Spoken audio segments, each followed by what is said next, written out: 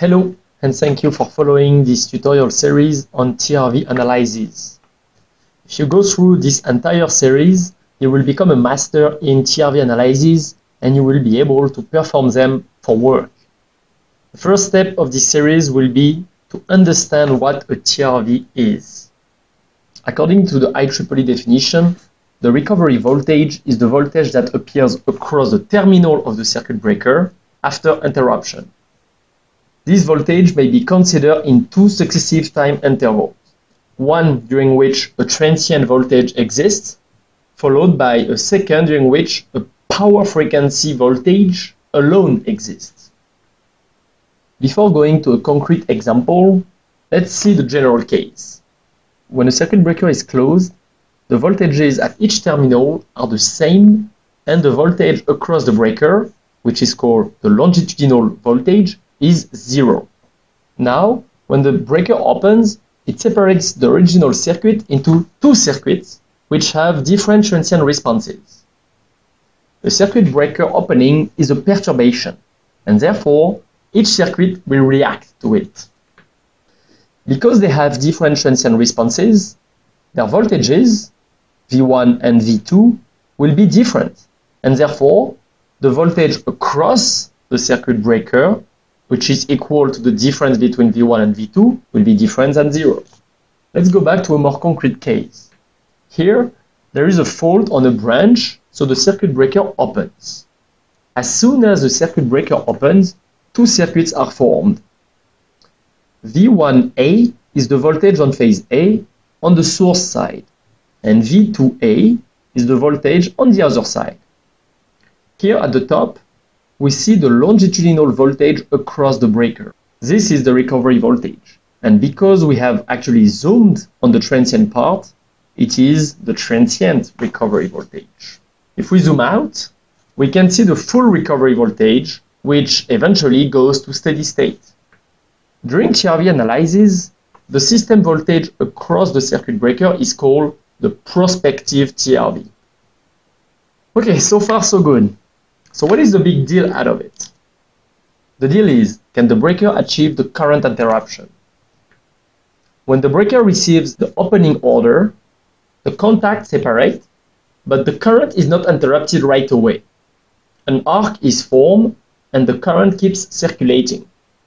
When the instantaneous value of the current approaches zero, the arc extinguishes and the circuit is open we say that circuit breakers interrupt the currents at the zero crossing. Because of the arc instability around the zero crossing, a small current of few amperes can be shocked, which can create even more challenging TRVs. The shocking current magnitude depends on the type of circuit breaker, vacuum, SF6, etc., and the topology of the network around. When the arc extinguishes, the circuit breaker is still opening, and its poles are separated by a gap. The voltage withstand of this gap depends on the distance between the contacts. While the breaker is opening, the withstand voltage increases and reaches its maximum when the breaker is fully opened. It usually takes between 50 and 200 microseconds for the contacts to open completely. The longitudinal voltage withstand of the circuit breaker is called the inherent TRV.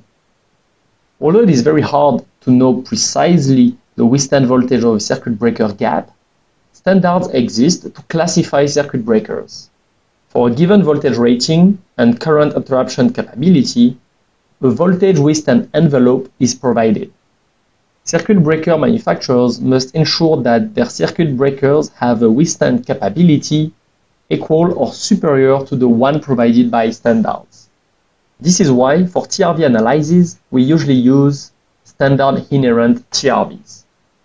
We superimpose the prospective TRV of the circuit with the standard inherent TRV of the circuit breaker.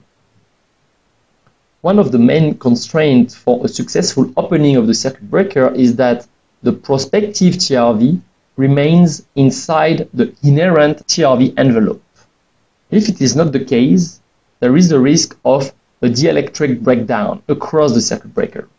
If this happens before a quarter cycle following the opening, it is called a reignition. If this happens after a quarter cycle following the opening, it is called a restrike. In this example, we can see that the circuit breaker starts opening sometime before the current zero crossing.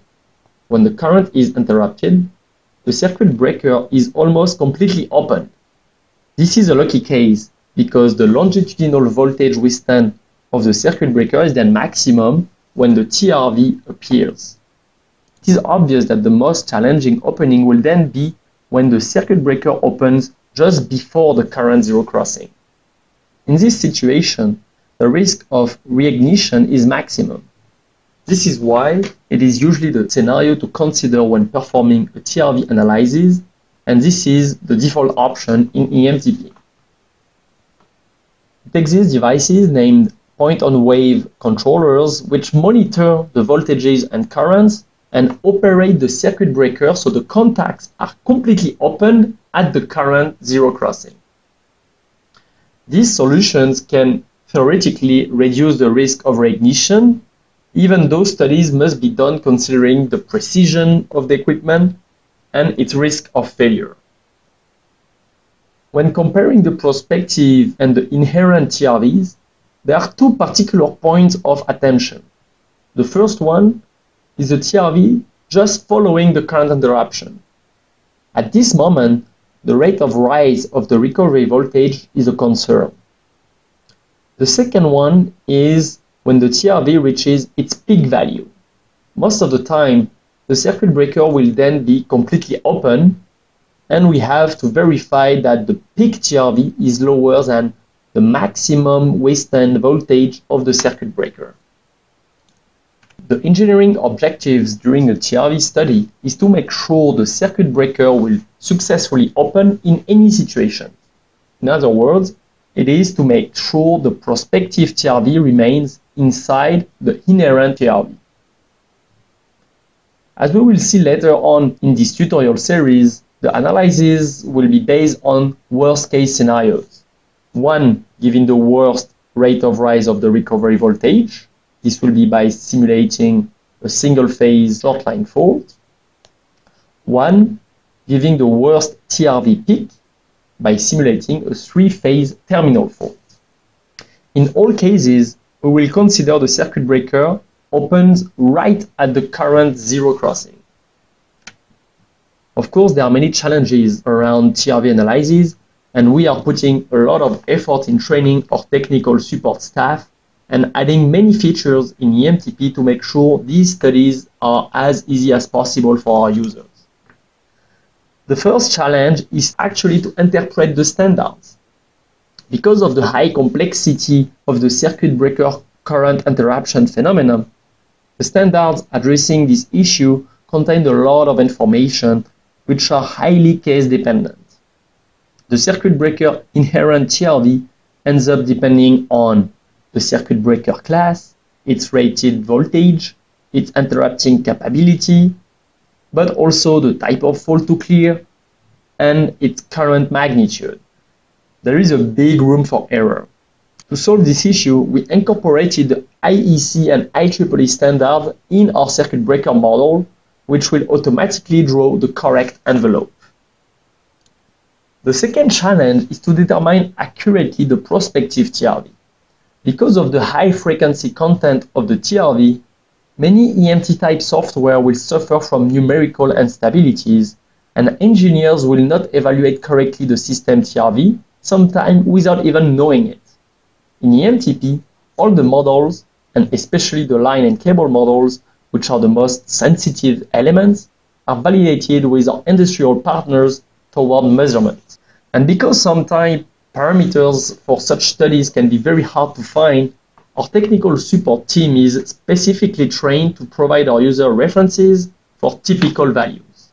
The prospective TRV also highly depends on the system. Each of the applications mentioned here requires special attention. We will see all that in the next videos of this series. Thank you for watching this video. If you have any questions, please ask them on our LinkedIn EMTP community. If you would like to get yourself informed of when we release new contents like this one, please subscribe to our YouTube channel or our newsletter. Have a good day. Bye.